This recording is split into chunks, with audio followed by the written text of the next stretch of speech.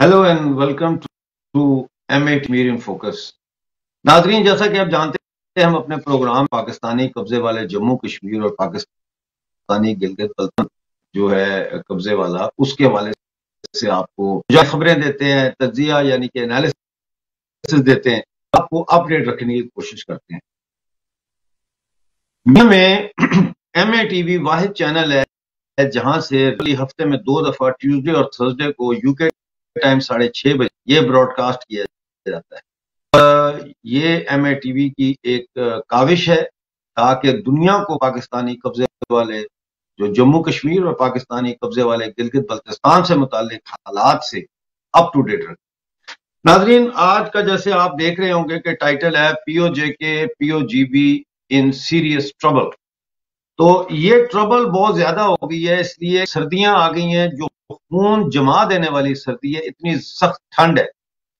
और इस ठंड में लोड शेडिंग हो रही है, इस ठंड में जो है इलेक्ट्रिकल अप्लायंसेज जैसे बिजली का हीटर हो गया, इनको जलाने की इजाज़त नहीं है, उसके ऊपर जुर्माना है, इनकी सेल भी बंद कर दी गई है। You can not sell electric heater and electric iron और any other electrical Baltistan right now और इस हवाले से अब हालात इतने संगीन हो गए कि लोगों ने फलों के दर हमारे वहाँ बहुत होते हैं तो फलों के दरख्त काट के उसकी लकड़, उसको ईंधन बनाना शुरू कर दिया ताकि से बचा जाए। जहाँ एक तरफ़ इसका एक इकोनॉमिक डिजास्टर की तरफ़ ये लेके जा रहा है, गिलगित बल्तिस्तान को, रूट जो है वो बेचा जाता है और उसके बागात है। दूसरी तरफ़ ये इकोलॉजिकल जो इश्यूज़ है, उनको भी आने वाले दिनों में बड़ा गंभीर कर दे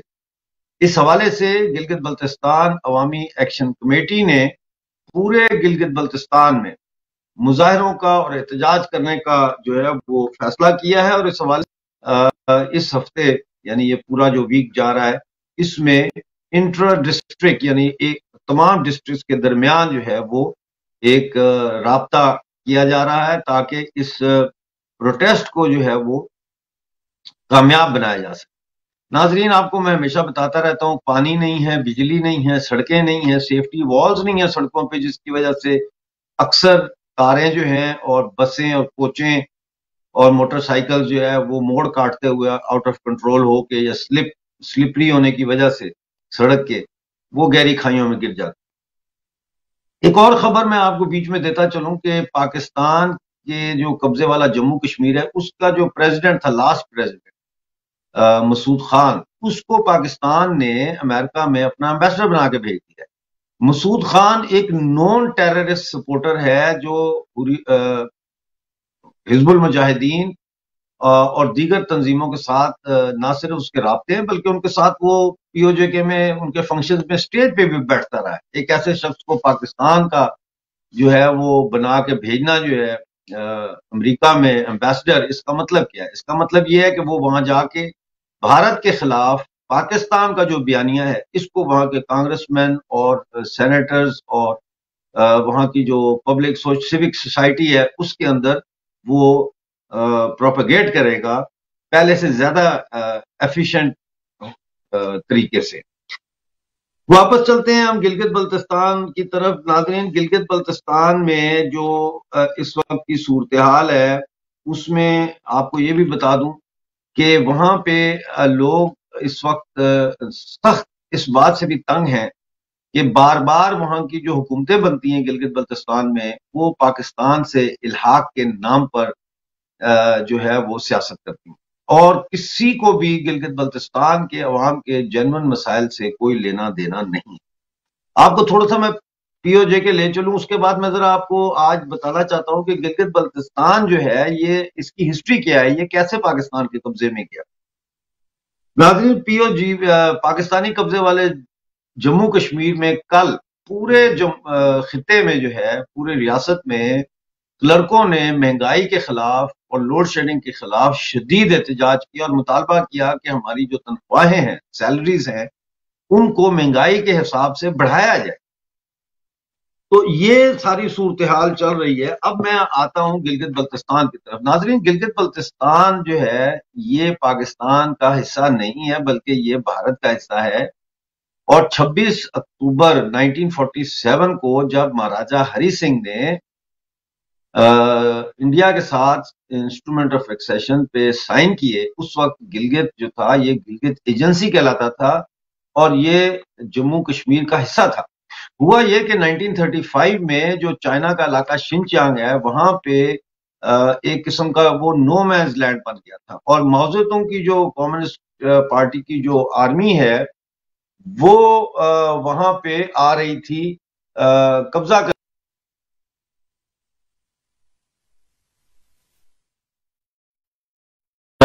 कनेक्शन कट गया था दोबारा बहाल हो गया। तो मैं जैसे बता रहा था कि जो गिलगित, बल्तिस, गिल गिलगित एजेंसी थी और 1930 में वहाँ पे आ रही थी बड़ी तेज़ी के साथ और और उधर से सोई, चूँकि उसका बॉर्डर भी मिलता था गिलगित एजेंसी के साथ तो वो सोवियत भी काफ़ी असर रसूख बढ़ रहा था। इसलिए अंग्रेज़ों ने इन तौर पर एडमिनिस्ट्रेटिव तौर पर 1935 में एजेंसी को 60 साल की लीज पर महाराजा हरी सिंह से ले लिया। लेकिन जब पार्टीशन का फैसला हो गया तो फ़र्स्ट अगस्त सेवन को गिलगित एजेंसी उसको अंग्रेज़ों ने महाराजा हरि सिंह को वापस कर दिया। हरि सिंह ने ब्रिगेडियर घनसारा सिंह को अपना गिलगित दिया जब ये गिलगित आए तो उस वक्त ये वहाँ पे लेफ्टिनेंट कर्नल रॉजर बेकन जो है, वहाँ पॉलिटिकल एजेंट थे। और रॉजर बेकन जो है इन का और एक और थे ऑफिसर मेजर विलियम ब्राउन और एक और थे बाद में आए, उनका नाम था कैप्टन मैथिसन तो ये तीन किरदार, चार किरदार ऐसे हैं जो कि गिलगित एजेंसी के अंदर उस वक्त मौजूद थे और इन्होंने गंसारा सिंह के खिलाफ वहाँ पे साजिश शुरू कर दी। इसी दौरान 22 अक्टूबर को पाकिस्तान ने जम्मू कश्मीर के ऊपर जब हमला किया तो तय ये पाया था अंग्रेज़ों ने ये फैसला मेरे पास टाइम नहीं है, वो डॉक्यूमेंट्स आप के साथ मैं डिस्कस करूँ। लेकिन ये तय करके जम्मू कश्मीर की रियासत को या तो इंडिपेंडेंट जाएगा और या फिर इसको पाकिस्तान का ऐसा बनाया जाएगा। लॉजिकली वो नहीं चाहते थे कि इंडिया के पास जम्मू कश्मीर की रियासत जाए, ताकि इंडिया का रास्ता वो सेंट्रल एशिया का वो रोका जा सके, उसको बंद किया जा सके। जंग हुई यहाँ पे एक और पॉइंट है जो वाला है कि उस वक्त पाकिस्तान और भारत दोनों के जो आर्मी के कमांडर इन चीफ थे वो अंग्रेज़। पाकिस्तान के जो कमांडर इन चीफ थे, उनका नाम था सर डगलस ग्रेसी और इंडिया के जो फौज के कमांडर इन चीफ थे, उनका नाम था general sir Robert McGregor Macdonald Lockhart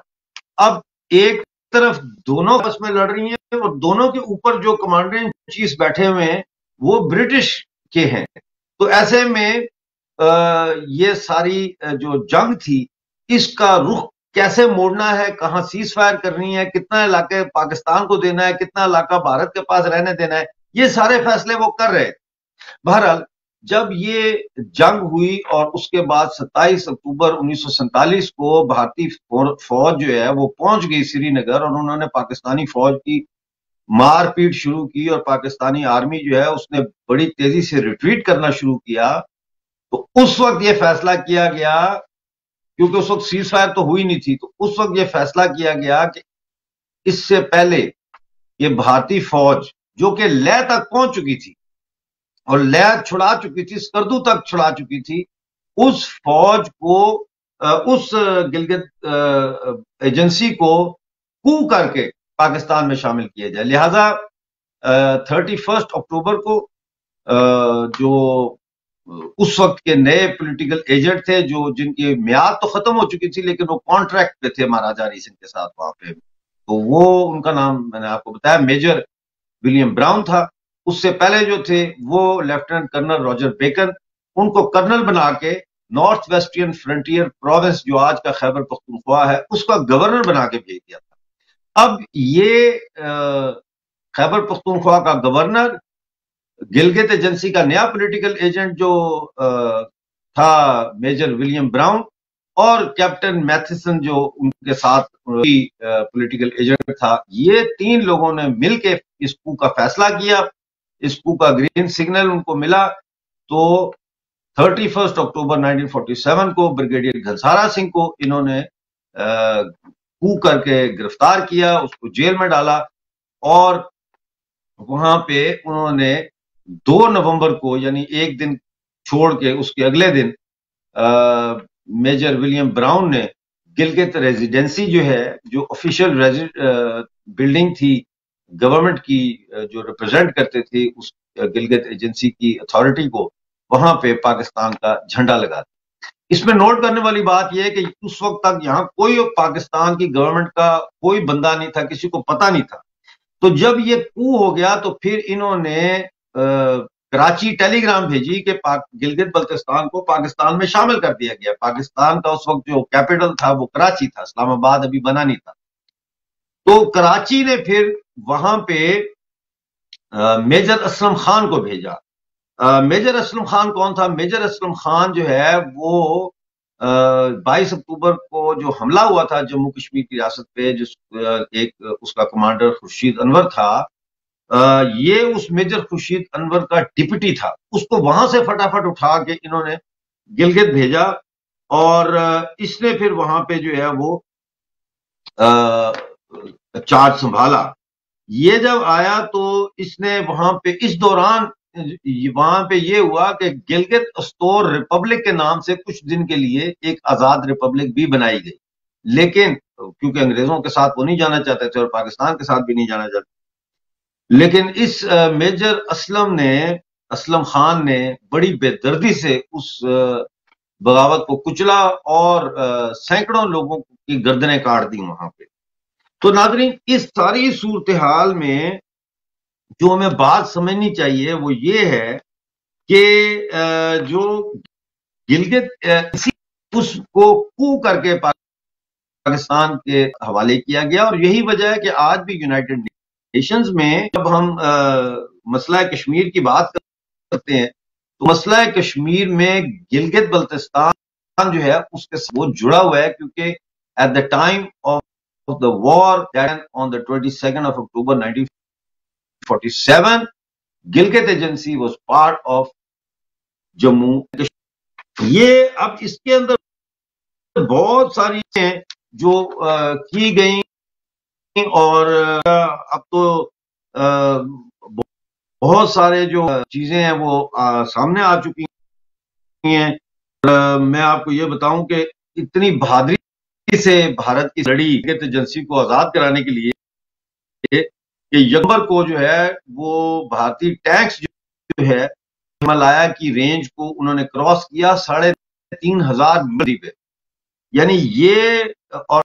जो जोजिला पास है वो क्रॉस किया। ये दुनिया की पहली दफ़ा था कि इतनी बुलंद सतह पर टैंक्स जो है वो इस्तेमाल किए गए हों। और ये जो क्रॉसिंग है ये बड़ी इंपॉर्टेंट थी क्योंकि ये पैसेज था लद्दाख को आ, में यानी ईस्ट में वाया कारगिल और स्कर्दू और इंडस वैली जो है आ, उसको था नॉर्थ। तो अब ये तो कोई शक नहीं है कि कमांडर इन चीफ जो थे पाकिस्तान आर्मी के, सर डगलस ग्रेसी, उन्होंने पाकिस्तान की मदद की। और उन्होंने ये कहते हुए मदद की कि हम किसी कीमत पर भी गिलगित एजेंसी को और वेस्ट जम्मू को इंडिया के साथ नहीं जाने दे सकते, वरना मुस्तबिल में अफ़गानिस्तान और इंडिया पिंसर मूवमेंट, यानी घेराव वाली मूवमेंट करके पाकिस्तान को पाकिस्तान पे हमला कर सकता है कभी। तो इसमें अब जो इनका ये ख्याल था कि जैसे इन्होंने नॉर्थ वेस्टर्न फ्रंटियर प्रोविंस को हैदराबाद के साथ बार्गेन करके तो इंडिया को हैदराबाद दे दिया और उसके बदले इन्होंने north west frontier province Pakistan को दे दिया, इसी जिस पर गफार ने इतराज भी किया था क्योंकि पश्तून जो है वो कांग हुकूमत थी और वो जाना चाहते थे। तो ये स्लैब ये अंग्रेज़ों ने की। इसीलिए आज जो सूरत हाल है, उसके अंदर गिलगित बल्तिस्तान की अहमियत जो है, वो कम नहीं हुई, बल्कि आज वो अहमियत पहले से हो गई। और इसमें एक और मैं आपको कहूँ कि इसमें जो अमेरिकन हैं, उन्होंने भी ये कहा कि ये जो इशू है असल में, वो है कि कौन मेन आर्टरी जो सेंट्रल एशिया को जाती है यानी मेन रोड या रास्ता या रूट उसको कौन कंट्रोल करेगा? तो अब इस हवाले से नाजरीन मैं आपको ये भी बताता चलूँ कि इन्होंने एक ट्रैक बनाया था एक सड़क बनाई जो कि 4,709 मीटर की बुलंदी पे थी। और वो इसीलिए बनाई कि ये इधर से शिंचियांग और इधर से सेंट्रल एशिया जो है वहाँ ये उनका रास्ता जो है वो रहे। इसमें और भी बहुत सारी चीज़ें लेकिन जो बात समझने वाली है वो ये है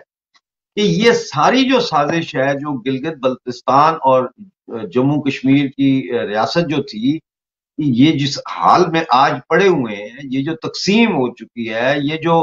कब्जे हो चुके हैं, ये इसके पीछे अंग्रेज़ों का हाथ था और अंग्रेज़ों के साथ मोहम्मद अली जिना जो है वो मिला हुआ वो अंग्रेज़ों के साथ उसका पैक्ट था कि वो नॉर्थ में ब्रिटिश डिफेंस जो है, इसको स्ट्रेंथन करेगा, इसकी, इसको गारंटी करेगा।